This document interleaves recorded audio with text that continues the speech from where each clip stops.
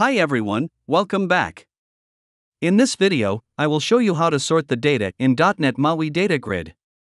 I'll also show you how to enable tri-state sorting, display sort numbers, sort columns by double tapping, and handle sorting events. Additionally, I'll show how to disable sorting in individual columns and sort columns based on custom logic. I'm using the sample application that includes the necessary data grid package and data. You can download the Getting Started example from the link provided in the description. You can also watch the Getting Started video I've shared in the YouTube card. Now, I'll run the application on an Android emulator. As you can see, the data grid displays all the orders data in a clear and concise manner. First, I will show how to sort columns programmatically in a data grid. The Sort Column Descriptions property is used to sort columns. For example, to sort the customer ID column in ascending order, add the sort column description to the sort column descriptions collection. Set the column name to customer ID and set the sort direction to ascending. Now, when I run the application, the customer ID column is displayed in ascending order. Next, let me show the various sorting modes. It is possible to sort one or multiple columns simultaneously in a data grid. I will first show the single mode sorting.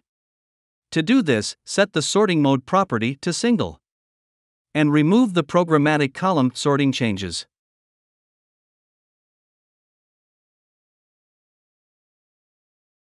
Tap the header of the customer's name column and then the order ID column, you will see the order ID column sorted in ascending order, but it had cleared the sort order of the name column.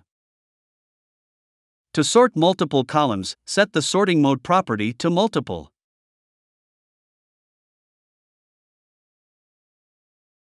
Once loaded, when I tap the customer's name column, it sorts values in ascending order.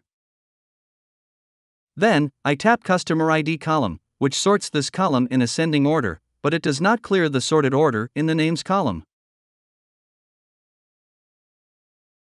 Next, let's move on to tri-state sorting in a data grid. First, run the application. When I tap the customer's name column, you can see the column in ascending order. I again tap, and the column is sorted in descending order. Tap again, the column is sorted in ascending order. To clear the sort order, enable the Allow Tri-State Sorting property by setting the value to true.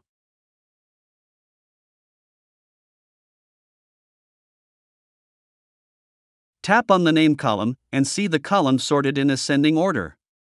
I again tap, and the column is sorted in descending order.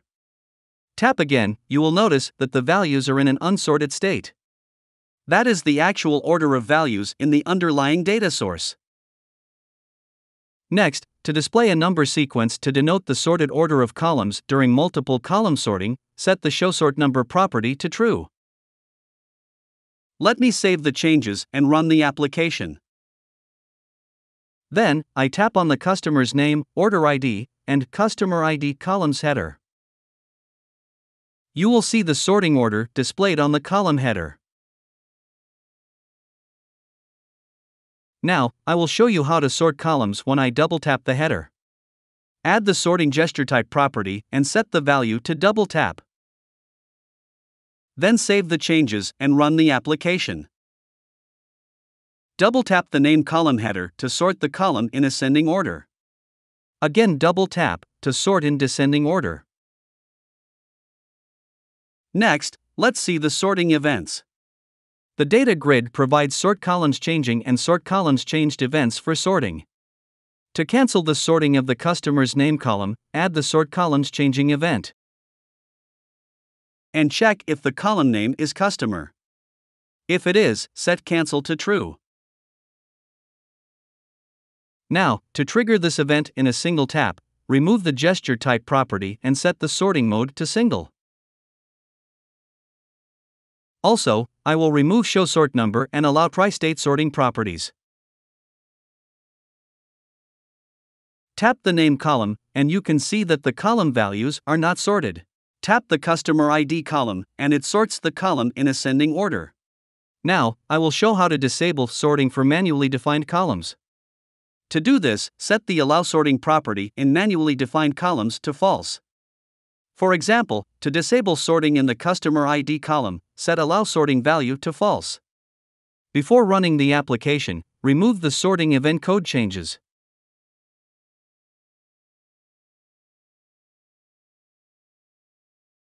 Then tap the Customer ID column, and you will see unsorted column values.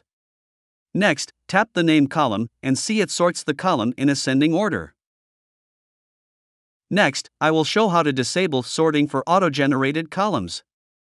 To disable sorting for a particular column, set Allow Sorting to false. For example, to disable sorting the customer's name column, first I remove the manually defined columns. Then, I will add the auto column generating event. In this event override method, check if the column name is customer. If it is, set allow sorting to false. Save these changes and run the application. Tap the customer's name column, and you will see unsorted column values.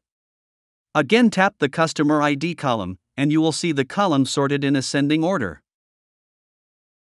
Finally, let's move to custom sorting. The data grid provides support to sort columns based on custom logic when the standard sorting techniques do not meet the requirement. For example, I will show you how to sort the column based on the length of their cell values. To do this, I create a new class named Custom Sort Comparer. Then, I make this class public and inherit iComparer and iSortDirection classes. Add a private field, sort direction, with list sort direction data type to get or set the sort direction. Additionally, add two fields, namex and namey, to compare customer's name length. Now, I add custom sort logic to sort names based on their length using the compare method. After this, go to main page XML and include the namespace .NET MAUI data. Then, add the custom sort comparer in content page resources with a key. Finally, define the sort comparer and sort column description to sort data in the customer's name column.